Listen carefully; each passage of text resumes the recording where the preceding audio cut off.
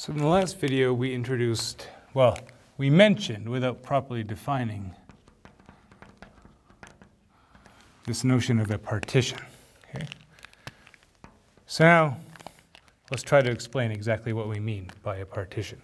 So the idea is we've got, we've got the graph of some function, starting at, let's say, a, and ending at b. So we've got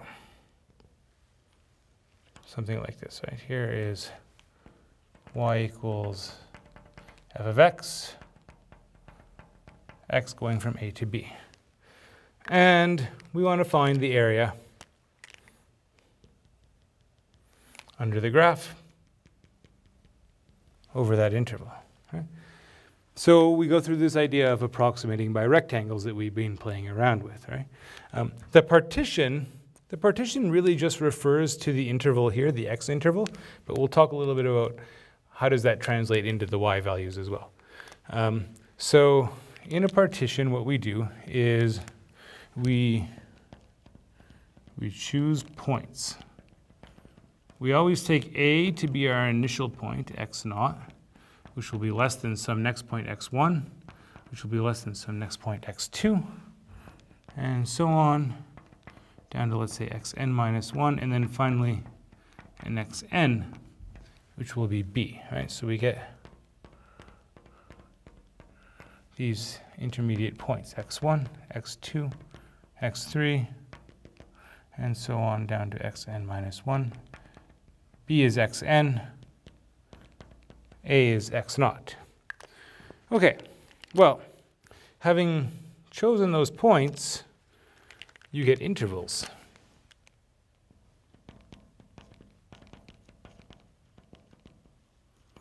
All right?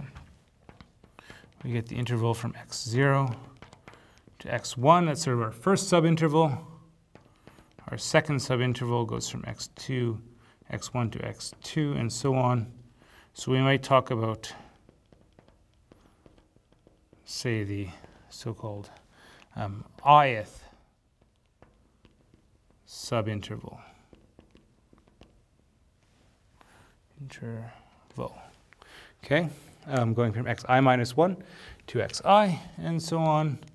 The last one would be from xn minus 1 to xn. And these have widths. Um, oops. Widths, right? So there would be a delta x1 which would be x1 minus x0. Delta x2 would be x2 minus x1, and so on. Delta xi would be xi, subtract xi minus 1, and so on down to the last one, xn, subtract xn minus 1. Okay. Now, um, Usually what we want is a, a so-called uh, uniform partition.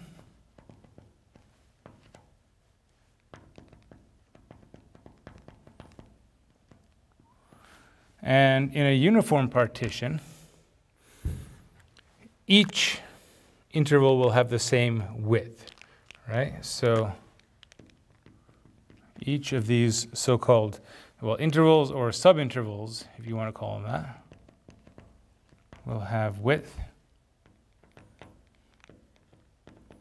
Well, we take the length of the entire interval, which is b minus a, and we divide by the number of subintervals, which will be our number of rectangles, right?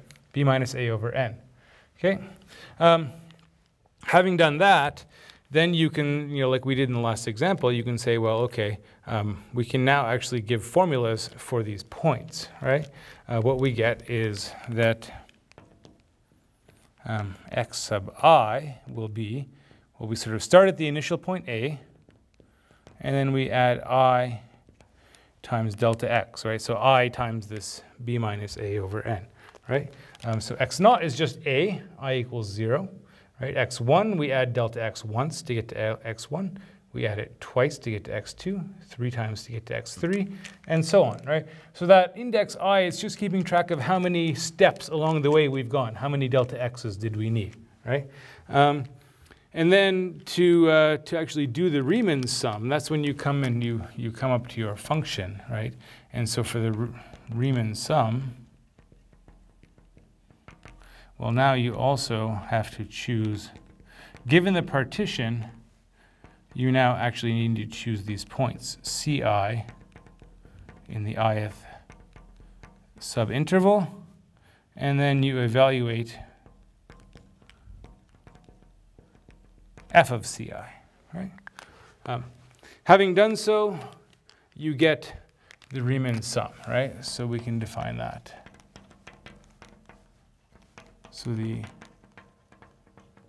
Riemann sum, okay, for say f of x on AB using um,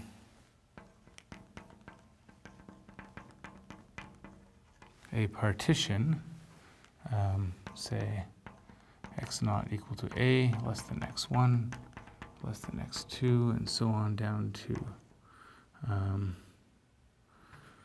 b, which will be our xn, is given by, and, and sometimes we give this partition a name, you might call it p. Um, so it's given by, and you'll see this we don't really use the notation too much in the, uh, in the book.